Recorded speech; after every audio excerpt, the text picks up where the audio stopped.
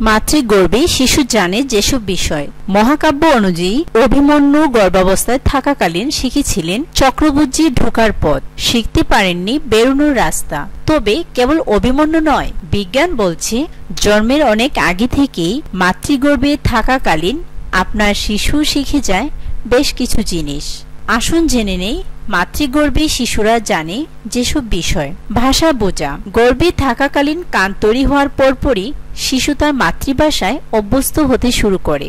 পরিচিত সে ভাষায় যা কিছু বলা হোক না কেন, সেদিকে বিশেষ গুরুত্ব দেওয়া শুরু হয়ে যায় তখন থেকেই। যদি কখনো কল্পনা করেন, মাতৃগর্ভে থেকে চোখ বুঝে কান খাড়া করে শব্দ শুনছে শিশু, তাহলে খুব ভুল ভাবেননি। শিশু শব্দ বোঝার হাবভাব অনেকটি এরকম। স্বাদ ভোজা। গর্ভে থাকার আট থেকে পনেরো সপ্তাহের মধ্যেই শিশুর এই ক্ষমতা তৈরি হয়ে যায়। তখন থেকে সে আলাদা করতে পারে মিষ্টি টোকার তেতু স্বাদ। তাই জন্মের পর এর বাইরে অন্য কোনো ফ্লেভার মা নিজের খাদ্যাভাসে রাখতে শুরু করলে তা প্রভাবিত করে মাতৃদুগ্ধের স্বাদকে। শিশু বুঝতে পারে সে তারতম্য, আলোর অস্তিত্ব। সাত সপ্তাহের আগে তার চোখে ফুটে না ভালো করে। কিন্তু পরীক্ষা করে দেখা গিয়েছে, সে অবস্থাতেই মাতৃগর্ভের নিকোষ কালো অন্ধকারে কোনোভাবে আলো পৌঁছে দিলে সে তার চোখ সরিয়ে নিচ্ছে আলোর বিপরীতে। এমনকি আল্ট্রাসাউন্ডে ধরা পড়েছে, জন্মের কাছাকাছি সময়ে বারবার চোখ পিটপিট করা শিশুর অভ্যাস।